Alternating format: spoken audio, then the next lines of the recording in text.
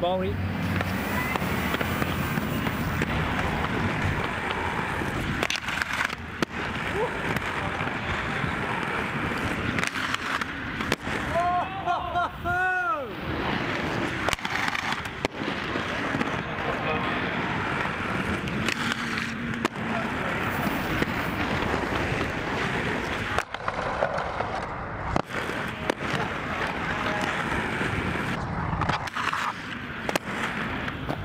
Yeah, motherfucker!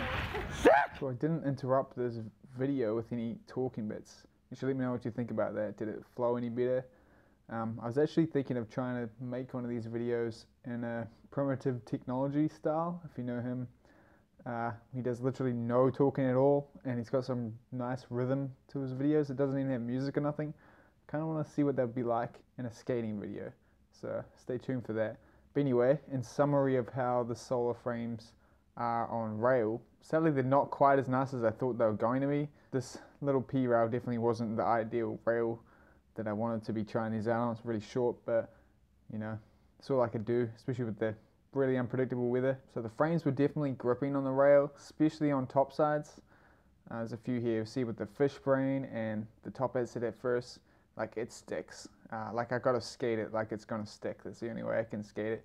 Uh, but we didn't wax the rail, so that's just me testing that I don't need to wax the rail. But usually at this park, I wouldn't wax the rail, so I don't know. Um, but yeah, it still slides, still sweet. You know, I still don't want to change back to plastic. I'm really liking them a lot. But yeah, I've pretty much tested everything on them now. I could do with some more rail, but I don't think I'm going to be able to do that. I want to try getting the bowl uh, if the weather lets me. Like I tried to go there today, but the whole thing was just like mildewy and wet. And I tried to roll around, it was so slippery, man, so scary. So guess I had to hang out for an afternoon or something to try to get back in there. haven't been there in so long, man. I'm missing out. But anyway, that's it for this video. Thanks so much for everything, you guys. A huge shout out to my patrons Adam, Kevin, Deb, Dennis, Fabian, Floey, Mark, Matt, Matt, Mike, and Tage. I'll see everyone on Friday. Peace out.